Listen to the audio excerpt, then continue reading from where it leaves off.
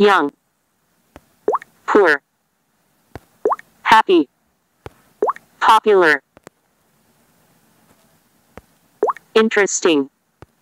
beautiful, rich, famous, dangerous, thin, careful, angry, friendly, lucky,